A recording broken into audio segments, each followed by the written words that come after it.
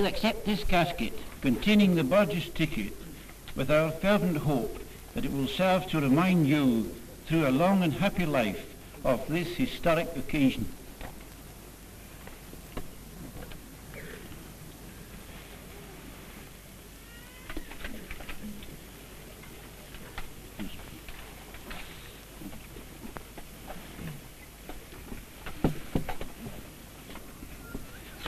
And Sutherland Highlanders, and I now ask you to accept this scroll to be treasured among the trophies of the regiment.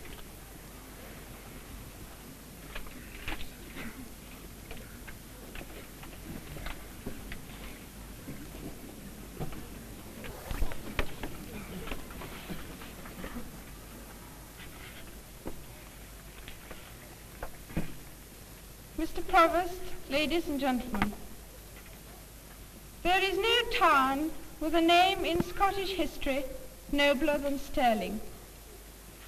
From the days of Alexander I to those of James VI, Edinburgh alone was your equal, and this strong fortress was intimately associated with the fortunes of the Royal House of Scotland.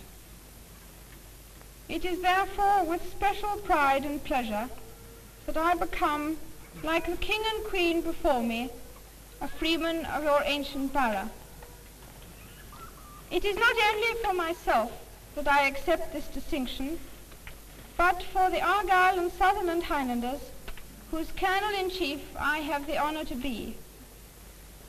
It is indeed an honor, because, as the Provost said, the regiment has a tradition of service of which all its members, from its Colonel-in-Chief to its newest recruit, are justly proud.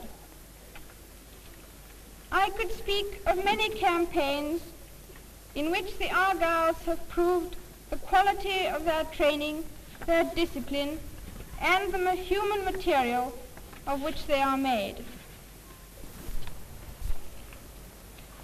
I now hand to Lieutenant General MacMillan the scroll conferring the freedom of this burgh on the Argyll and Sutherland Highlanders and ask him to keep it in safe custody on behalf of the regiment.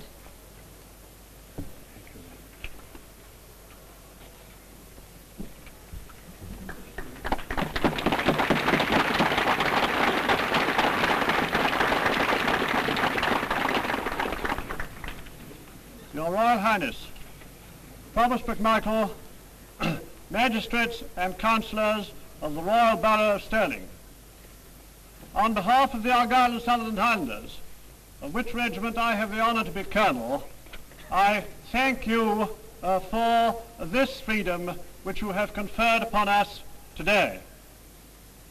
I know I should say too that uh, when I go back to Palestine, I shall tell the 1st Battalion of this moving center.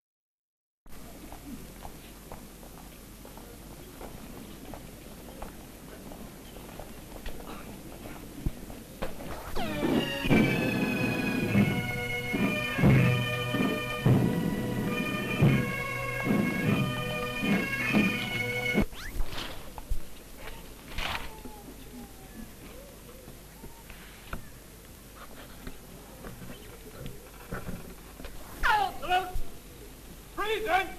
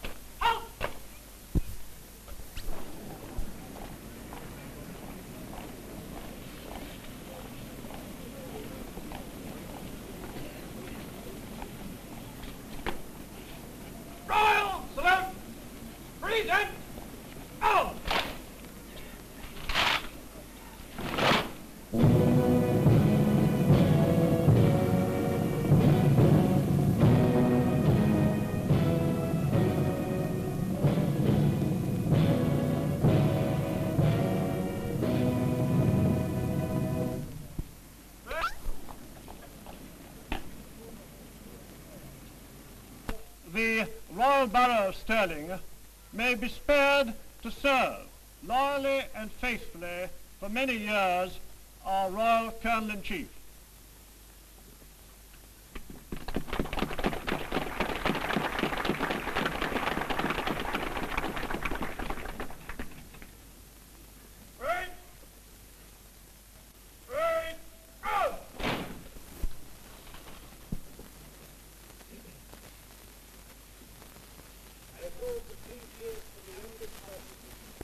Hip, hip.